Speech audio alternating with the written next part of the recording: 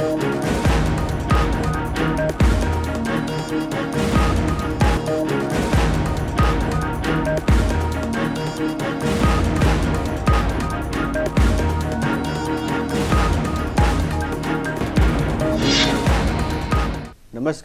आज face to face में हमारे साथ एक विशिष्ट मेहमान उपस्थित हैं, पद्मश्री बालेंद्र प्रकाश वैद्य। बालेंद्र प्रकाश जी इस राज्य के बहुत ही जाने माने चेहरे हैं और 42 साल का उनका आयुर्वेद के क्षेत्र में सेवा करने का एक बड़ा अनुभव है और बहुत सारी ऐसी बीमारियाँ जिनका इलाज एलोपैथ, एलोपैथी में नहीं है, उन्होंने आयुर्वेद में करके दिखाया है और राष्ट्रीय स्तर पे उसको प्रचारित किया है, प्रसारित किया है, लोकप्रिय बनाया है और आयुर्वेद पे लाखों लोगों का विश्वास पुनः स्थापित किया है। आज हमारे साथ ऐसे ही बालेंद्र प्रकाश वैद्य जी हैं, इनसे जानेंगे कि आयुर्वेद, जो आज न सिर्फ़ भारत की, बल्कि पूरे दुनिया के आकर्षण का केंद्र बना है, लोगों का विश्वास इस पर बढ़ा है, और उसमें रोज़गार के साथ साथ स्वास्थ्य की बड़ी संभावनाएँ पूरी दुनिया देख रही है। तमाम तरह के रिसर्च चल रहे हैं, तमाम तरह के संस्थान चल रहे हैं। क्या है इसका भविष्य? कितनी कारगर है आयुर्वेद की ये पैथी? इन सारे विषयों पर विस्तार से बात करने के लिए चलते हैं वैद्य बालेंद्र प्रकाश जी के पास। आपका बहुत बहुत स्वागत है हमारे विशेष प्रोग्राम फेस टू फेस में। तो बालन जी, जैसा मैंने बताया कि जो आयुर्वेद पद्धति है, पूरी दुनिया आज इसके प्रति लालायित है। और विशेषकर भारत जहाँ पे चरक, पतंजलि जैसे महान आयुर्वेद के चिकित्सक हुए, कह सकते हैं। तो ऐसे भारत की तरफ़ पूरी दुनिया बड़ी उम्मीद से देख रही है। और आपने जैसा कि बताया, बयालीस साल आपका एक बड़ा अनुभव होता है, बयालीस साल। एक दो पीढ़ियाँ निकल जाती हैं। और इन बयालीस सालों में आपने लाखों लोगों का इलाज किया है, लाखों लोगों का विश्वास इस पैथी पे बढ़ाया है। तो कितनी संभावना देखते हैं और दुनिया की जो अपेक्षा है उसे पूरा करने में भारत कितना सफल साबित होगा? जी मैं ये, मेरा सौभाग्य है कि मैं एक वैद्य के घर में जन्म लिया और बीएससी की पढ़ाई करने के बाद आयुर्वेद के ज्ञान से मुझे रूबरू होने का मौका मिला। तो मैं समझता हूँ कि आयुर्वेद को अगर हम देखते हैं तो आयुर्वेद केवल एक औषधि शास्त्र नहीं है। आयुर्वेद एक जीवन जीने की कला है। सोना कब है, उठना कब है, रहना कैसे है? और उसमें व्यवहार की भी बातें बहुत सारी कि हमारा बिहेवियर कैसे होना चाहिए। तो एक समग्र पर्सनैलिटी डेवलपमेंट आयुर्वेद के द्वारा आदमी की हो सकती है। और आयुर्वेद का जो एक सिद्धांत है, स्वस्थ से स्वास्थ्य रक्षण आप तुरंत से विकार प्रश्न कि एक तंदुरुस्त आदमी को तंदुरुस्त कैसे रखा जाए। ये आयुर्वेद का एक मूलभूत सिद्धांत है, और उसके बाद भी मालूम होता है। तो वैद्य जी, जैसा कि मैंने बताया, पतंजलि योग सूत्र की बात करें या चरक संहिता की बात करें, तमाम जो हमारे देश में इस तरह के साहित्य, जो प्राचीन साहित्य है, जिसमें इस पैथी के बारे में बहुत विस्तार से लिखा गया है, और इस पर रिसर्च करके आधुनिक भारत के कई सारे जो जागरूक लोग हैं, उन्होंने तमाम पेटेंट भी हासिल किए हैं। और शायद यही कारण है कि पूरी दुनिया का विश्वास आयुर्वेद की पैथी पे बढ़ा भी है। तो इन बयालीस सालों में अगर आपके अनुभव की बात करें तो कुछ इसके बारे में बताइए कि कितना ज्ञान है, किस तरह का ज्ञान है, और उस पर अगर शोध की संभावना की बात करें तो कितना भी और शोध होना चाहिए उस पर हाँ आपने जो आखिरी बात बोली शोध की तो आयुर्वेद हमारा हज़ारों साल पुराना विज्ञान है। और ये जब लिखा गया था तो उस बात पे लिखा गया था उस समय की हमारी आवश्यकता क्या थी और हमारे पास सुविधाएँ क्या मौजूद थी, उसी हिसाब से सारी चीज़ें बनी। पर दुर्भाग्य से जैसे जैसे आधुनिक विज्ञान और आधुनिक चिकित्सा शास्त्र में अनुसंधान हुए, आयुर्वेद उनके साथ समन्वय स्थापित नहीं कर पाया। तो इसलिए इसका जो ज्ञान है, आज की तारीख में उस उस रूप में नहीं पहुँच पाया है जहाँ पर इसको पहुँचना वैद जी, अगर बात करें एलोपैथी की तो एलोपैथी में सर्जरी एक बहुत बड़ा क्षेत्र है, जो तमाम बीमारियों के इलाज का एक बड़ा साधन होता है और तत्कालिक जो राहत है वो देता है। लेकिन उसके जो साइड इफ़ेक्ट्स हैं, शायद उन साइड इफ़ेक्ट्स की वजह से पूरी दुनिया आयुर्वेद की तरफ़ आ रही है, जो माना जाता है कि जिसका इलाज, जिसकी चिकित्सा कोई साइड इफ़ेक्ट्स नहीं पैदा करती। लेकिन जो सर्जरी का विकल्प है आयुर्वेद में, आज भी आयुर्वेद अपने को इस लायक नहीं बना सका कि सर्जरी का कोई विकल्प दे सके। तो इसको आप किस रूप में देखते हैं और इसकी वास्तविकता क्या है? अगर हम एलोपैथी बनाम आयुर्वेद की बात करेंगे तो कुछ नहीं होगा। वो वो करना ही बेमानी है। 1925 में महात्मा गांधी जी ने एक आर्टिकल लिखा था। उनकी एक सोच थी, क्योंकि वो उस समय भी बहुत दुनिया घूमे हुए थे कि एक तरफ़ परंपरागत आयुर्वेद और एक तरफ़ आधुनिक चिकित्सा शास्त्र। तो उनकी तमन्ना थी कि ये दोनों विधाएँ आपस में मिले और एक ऐसा सिस्टम पैदा करे जो कि हमारे देश की जनता की चिकित्सा की आवश्यकता पूरी करे। तो ये उनकी सोच थी और यही सोच करके बीएमएस बना। तो आज जो मेरी डिग्री बीएमएस है, जो मेरी पुत्री बीएमएस है, जो सरकार चला रही है बीएमएस का जो असली मतलब है, वो bachelor of Ayurveda and modern surgery ना होके bridge between Ayurveda and modern science है। तो अगर कोई विज्ञान ने तरक्की की है, आज पूरा दुनिया मोबाइल की है, स्मार्टफ़ोन की है, हम कंप्यूटर की बात करेंगे तो उससे तुलना ही करना बेकार है। वो समय के साथ रिले रेस की तरह विकास हुआ। तो चिकित्सा शास्त्र एक है। उसमें आयुर्वेद बनाम, एलोपैथी नहीं होना चाहिए। और एलोपैथी ने केवल सर्जरी के द्वारा चिकित्सा नहीं की है। आज जब किसी को इन्फेक्शन होता है, जब उसको यूरिन में इन्फेक्शन है 104 बुखार है आकस्मिक चिकित्सा है तो इमरजेंसी मेडिसिन में डायग्नोस्टिक में एलोपैथी का जवाब नहीं है। तो हम दोनों एक दूसरे के जब पूरक होंगे तब तो काम होगा कि एलोपैथी में साहब आयुर्वेद में सर्जरी को क्या कहते हैं तो किसी को नीचा नहीं दिखाना है। आज एक बीमारी है पेनकेटाइटिस एलोपैथी में उसकी सर्जरी होती है। पर हमने पाया कि तांबा पारा गंधक के द्वारा आयुर्वेद के रसशास्त्र पर आधारित जो दवा है वो उस बीमारी को बिल्कुल ठीक करती है। तो, तो हम सर्जरी को अंडर एस्टिमेट नहीं कर रहे हैं। क्योंकि अगर वो नहीं होगा तो डायग्नोज ही नहीं होगा। आकस्मिक चिकित्सा नहीं होगी। परंतु जब हम आयुर्वेद के सिद्धांतों को मिलाएँगे तो दोनों पूरक हो जाएँगे। तो एक तरह का marrying between modern science modern medicine and ये Ayurvedic traditional medicine tradition and technology इन दोनों को मिला के ही अगर हम करेंगे तो आयुर्वेद का और एलोपैथी का जो विज्ञान का विकास दुनिया तक होना चाहिए वो होगा। वैद्य जी आयुर्वेद का जैसा आपने बताया कि सिर्फ़ चिकित्सा पद्धति ही नहीं बल्कि एक जीवन पद्धति भी है। और शायद इसका सर्वांग सर्वांगीण रूप से देखें तो आपके जीवन पद्धति को ठीक करने का एक बेहतर ये माध्यम है आयुर्वेद और उसी वजह से उसी के चलते तमाम ऐसी बीमारियों को भी ठीक करने का वायस बना है, जिसका इलाज करने में एलोपैथी या अन्य जो पैथियाँ हैं मेडिकल में, वो शायद सफल नहीं है। तो एक योग भी आता है इसमें। जैसे हम बात करें, जो प्राचीन चिकित्सा के जनक कहे जाते, पतंजलि, उनका, पतंजलि योग सूत्र है तो उसमें योग शब्द का भी आता है। तो योग और आयुर्वेद एक दूसरे से किस तरह से जुड़े हुए हैं? और जबकि पूरी दुनिया आज सरकार के प्रयास से पूरी दुनिया ने योग को एक स्वीकार्यता दी है। 26 जून को पूरा, पूरे दुनिया के लगभग तमाम, सारे देश जो है योग दिवस भी मना रहे हैं। तो योग और आयुर्वेद का जो आपसी संबंध है, वो किस तरह का है? देखिए, भारत एक आध्यात्म देश रहा है। योग एक शरीर का दोष है, वो आयुर्वेद के द्वारा है। और जो हमारा मानसिक दोष है, मानसिक जो हमारी स्वास्थ्य उसके लिए योग का वर्णन है और योग का अष्टांग योग है और उसका उद्देश्य मोक्ष प्राप्त करना। आज का जो योग है, ये भोग युक्त योग है। तो उनकी एक गुरु वाक्य में लिखा है कि स्वास्थ्य को ध्यान में रखते हुए लोक हितैषी बन देश सेवा करना सबसे बड़ा कर्म योग है। बिल्कुल आप ठीक कह रहे हैं, योग जो है, प्राणों को एक नया आयाम देता आया है और प्राणों को जब नया आयाम मिलता है तो आप भौतिक जगत से अध्यात्म की ओर बढ़ते हैं। और अध्यात्म आपकी आत्मा को एक नए स्थान पर ले जाती है। खैर, ये अध्यात्म की बातें यहाँ बहुत सकारात्मक नहीं कही जा सकती।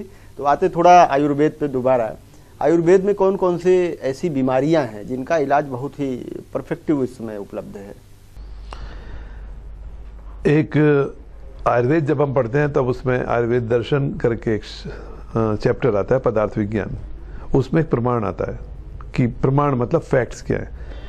तो उसमें चार तरह के प्रमाण हैं प्रत्यक्ष प्रमाण जो सामने दिख रहा है। एक अनुमान है जो बाई गैस है बाई एक्सपीरियंस है। तीसरा आप्तोपदेश by seniors by authenticated person और चौथा है युक्ति कि आप अपनी बुद्धि से कैसे सोचते हैं। पर मैंने इस प्रमाण में चारवाक ऋषि के जो उन्होंने एक माना है प्र, प्रमाण प्रत्यक्ष प्रमाण एविडेंस तो एक बहुत पहले पिक्चर आई थी विद्या बालन की जिसमें वो बोलती है एंटरटेनमेंट एंटरटेनमेंट एंड एंटरटेनमेंट तो मैं अपनी चिकित्सा में केवल एक ही शब्द बोलता हूँ एविडेंस एविडेंस एविडेंस मैं एक वैद्य हूँ। बयालीस साल का तजुर्बा है। पद भी मिले हुए हैं, पूरी दुनिया घुमा हुआ हूँ। परंतु मैं आयुर्वेद का स्पोक्स पर्सन नहीं हूँ। मैं केवल यही बोलूँगा कि जो मेरे को अनुभव अपने पिताश्री से मिला और जो मैंने उस जीवन में रिले रेस में मैंने जोड़ा मैं उसके बारे में बोल सकता हूँ कि आयुर्वेद के इस चिकित्सा सूत्र के द्वारा मैंने अपनी ज़िंदगी में कुछ प्रमाणिक चिकित्सा पद, की है जिसमें सबसे पहले आता है एक्यूट प्रो माइलोसिटिक लिक्यूमिया जिसको मैंने ऑल इंडिया इंस्टीट्यूट में ट्रायल किया भारत सरकार के सौजन्य से और जिसके लिए मुझे पद्मश्री मिला उन्नीस सौ निन्यानवे में और उसका यूएसएन यूरोपियन पेटेंट प्राप्त हुआ। दूसरा है माइग्रेन माइग्रेन दुनिया में लाइलाज बीमारी है, पर हमने पाया कि एक, चार औषधियों का protocol with diet and lifestyle, वो माइग्रेन को पूरी तरह ठीक करता है और इसका भी ट्रायल हमने ऑल इंडिया इंस्टीट्यूट में कराया। तीसरी बीमारी होती है क्राइनाइटिस पुराना जुकाम, ठीक ही नहीं होता। तो हमने देखा कि 18 जड़ी बूटी और भस्मों से बनी हुई जो दवा है, वो पहले अपने क्लिनिक में, फिर ट्रायल करा के देखा कि ये जो आज की एलोपैथिक दवा है जो दुनिया में प्रचलित है, उससे चार गुना ज़्यादा फ़ायदा करती है और चार गुना कम साइड इफ़ेक्ट देती है।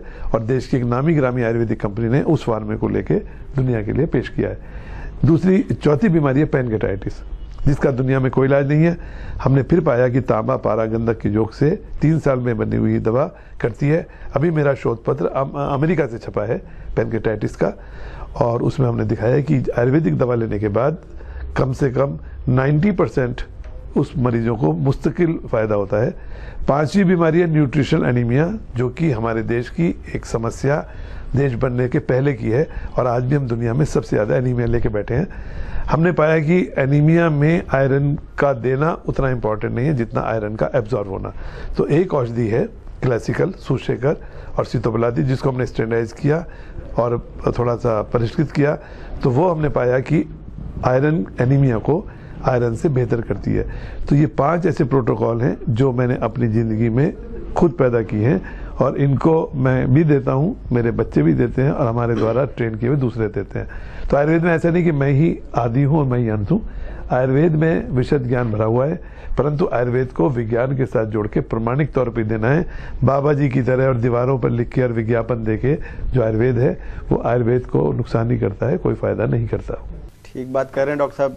मैं बताना चाहूँगा कि जो आयुर्वेद है, वेद का हिस्सा है और वेद भारतीय संस्कृति का महा समंदर माना जाता है, जिसमें इस देश का सारा जो इतिहास है वो समाया हुआ है। न केवल संस्कृतियों का बल्कि मानवता का इतिहास भी उसमें समाया हुआ है। और जिस तरह का आपने अभी उल्लेख किया कि आपने कुछ बीमारियों का प्रोटोकॉल बनाया, एक तरह के शोध का एक बड़ा कार्य माना जा सकता है। और आप जब देश विदेश जाते हैं तो न केवल वैद्य बालेंदु प्रकाश के रूप में, बल्कि भारत के आयुर्वेद के ब्रांड एम्बेसडर के तौर पर भी वहाँ आप पहचाने जाते होंगे। ये मेरा विश्वास है। तो बात करते हैं थोड़ा उत्तराखंड की।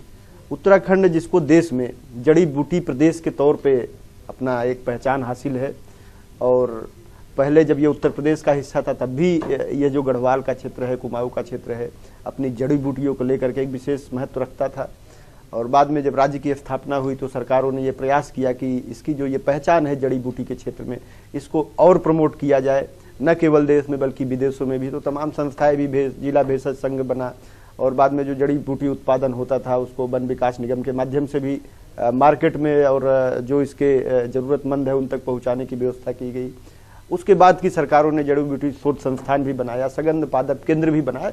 ऐसी तमाम संस्थाएँ बनाई जो इस राज्य की जो सबसे ज़्यादा संभावनाशील क्षेत्र है, जड़ी बूटी का जो क्षेत्र है, उसको प्रमोट करने को। तो वर्तमान स्थिति की बात करें, आप बयालीस साल से इस क्षेत्र में हैं और आपका जो प्रैक्टिस है, उसका सारा जो सामान है, वो उसी क्षेत्र से आता है। तो आप किस रूप में देखते हैं कि सरकारों का जो प्रयास था, वो किस स्तर पर पहुँचा है? और कितना संतोष संतोष कितना संतुष्टि आप महसूस करते हैं उनके प्रयास से? देखिए, पूरा हिमालयी क्षेत्र, नेपाल जम्मू कश्मीर हिमाचल और उत्तराखंड ये जड़ी बूटी बहुल वो भौगोलिक स्थिति है तो उत्तराखंड भी उसी का हिस्सा है। और ये हमारे शास्त्रों में भी लिखा है, जो आयुर्वेद के पुराने हैं, कि हिमालय क्षेत्र की जड़ी बूटियाँ सबसे अच्छी होती हैं। उसके बाद विंध्याचल प्रदेश में है। तो उत्तराखंड जब राज्य बना तो उत्तराखंड का जड़ी बूटी यहाँ का पेट्रोल समझिए। इसमें विशद संभावनाएँ हैं। परंतु यहाँ की जो सरकारें थी या पहले भी थी उसमें कहीं उलझन हो गई है। वो केवल सरकार का काम नहीं है ये। सरकार को, समाज को और जो स्टेक होल्डर हैं, इन तीनों को मिलकर इस काम को करना पड़ेगा। अब सरकार कौन है? जड़ी बूटी लगाएगा कौन? क्यों लगाएगा? तो उसके ऊपर जो बैठक होनी चाहिए थी, जैसे और सबसे बड़ा स्टेक है जड़ी बूटी का, वो आयुर्वेद का आदमी है। परंतु आज क्या हो गया है? कभी कोई रिसर्चर बोलता है कि नहीं, जड़ी बूटी उसकी नहीं है, वन विभाग अपना स्टेक करता है, उद्यान विभाग उसका स्टेक करता है। तो उसमें इतनी सारी उलझन हो गई है कि जड़ी बूटी का जो समग्र विकास होना चाहिए था, जो उसका फ़ायदा होना चाहिए था, वो इस राज्य को अभी तक नहीं मिल पाया है। ठीक बात है कि मेडिसिनल प्लांट बोर्ड बन गया, जड़ी बूटी शोध संस्थान बन गया और इसकी निकासी भी होती है, पर वो कुछ चीज़ों तक सीमित है। पर जो यहाँ की दुर्लभ प्रजाति हैं, चूँकि इंडेंजर्ड हैं, जिनकी कीमत बहुत ज़्यादा है, उनका अभी तक कल्टीवेशन प्रॉपर यहाँ पर शुरू नहीं हुआ है। जैसे अतीस, सालम पंजा। सालम पंजा की जो डिमांड है, वो केवल आपको कहीं पर भी उसका कल्टीवेशन उत्तराखंड में नहीं हो रहा है, जबकि यहाँ की ऊँची पहाड़ियों में वो पैदा होता है। अतीस, वो पैदा होता है, पर उसका भी नहीं हो रहा है। ये सब हाई वैल्यू एडेड है। तो मैं तो समझता हूँ कि अभी हमने एक प्रयास किया गंगी में जड़ी बूटी लगाने का और वहाँ पर अपनी ज़मीन ली एक प्राइवेट एंटरप्रेन्योर के तौर पर और सरकार की जो अनुमतियाँ थी वो ली। थोड़ी दुरू हैं, पर मैं समझता हूँ कि ये एक मॉडल जो हमने पैदा किया है, इस मॉडल को दृष्टिगत करते हुए कुछ और किसान हमारे साथ आए हैं। वह जी, जड़ी बूटी को लेकर के और आयुर्वेदिक चिकित्सा पद्धति को लेकर के जो केंद्र सरकार है वो भी बड़ी संवेदनशील है और आयुष मंत्रालय का अलग से गठन किया है, एक कैबिनेट मंत्री भी बनाया है आयुष के क्षेत्र में, और तमाम न केवल उत्तराखंड बल्कि तमाम ऐसे राज्यों में भी वो आयुर्वेद और जड़ी बूटियों की संभावना तलाश रही है, जहाँ पे प्रकृति बहुत उसके अनुकूल नहीं है। लेकिन उत्तराखंड में जैसा कि आपने बताया, बहुत रिच है जिस तरह से गल्फ कंट्रीज़ में पेट्रोल होता है, ठीक उसी तरह से यहाँ जड़ी बूटी का एक बहुत बड़ा क्षेत्र है, जो यहाँ की आर्थिकी को बदल सकता है। यहाँ के जो स्थानीय लोग हैं उनके जो आर्थिक स्थिति है, हैसियत है, उसे बदल सकता है।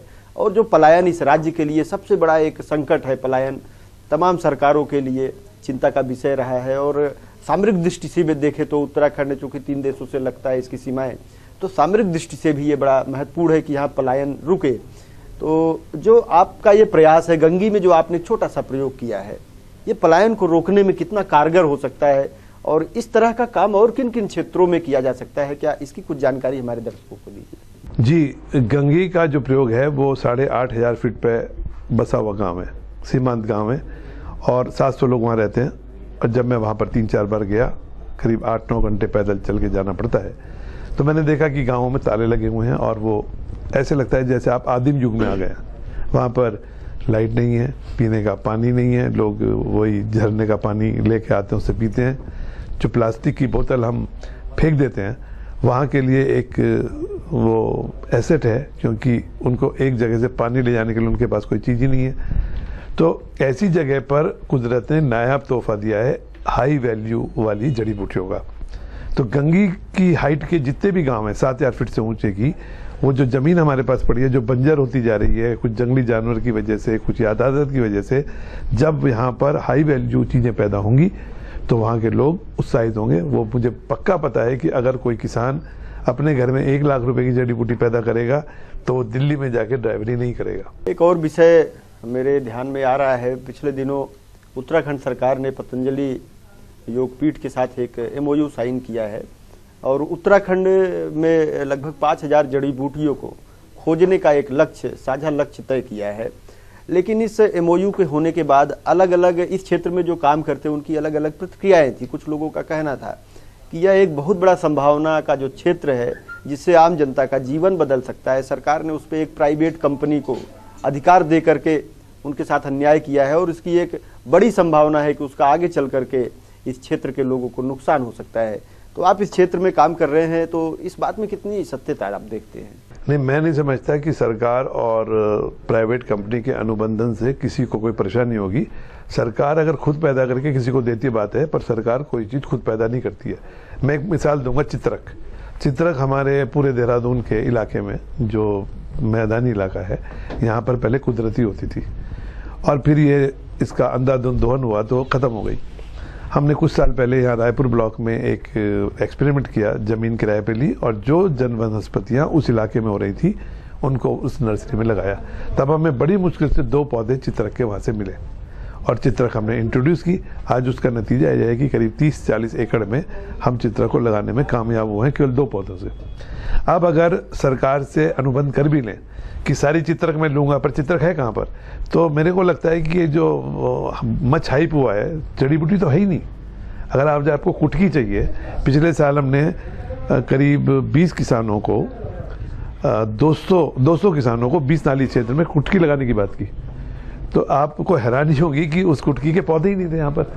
तो मैंने अनुबंध कर भी लिया कि मैं सारी लूँगा। तो अनुबंध हो गया, अखबार में खबर छप गई। पर वो कुटकी है किधर लगाने के लिए? तो अगर मुझे अभी आज दस कुंटल कुटकी चाहिए तो मेरे को नहीं लगता कि राज्य सरकार के पास है। अनुबंध तो मैं भी कर लूँगा। तो कई बार कुछ चीज़ें होती हैं, कुछ अनुबंध होते हैं, उनकी मैं समझता हूँ कि प्राइवेट कंपनी भी आए, पर वो जड़ी बूटी पहले लगवाएँ, किसान कहाँ से लाएगा? और सरकार किसानों को लगाने के लिए बीज और पौधे दे दे, और थोड़े से नियमों का सरलीकरण करे तो जड़ी बूटी का होगा। तो प्राइवेट अनुबंधन से मुझे नहीं लगता कि ऐसी कोई परेशानी हो रही क्योंकि सरकार किसी से लेके नहीं दे रही है। अब गेहूँ का समर्थन मूल्य होता है। उसमें किसान के ऊपर कोई बाध्यता थोड़ी कि वो सरकार को ही बेचे?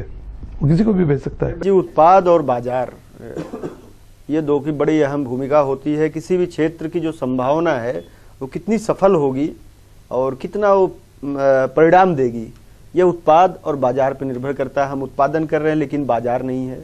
और बाज़ार है लेकिन उत्पादन नहीं है तो ये जो प्रक्रिया है संपूर्ण नहीं होगी।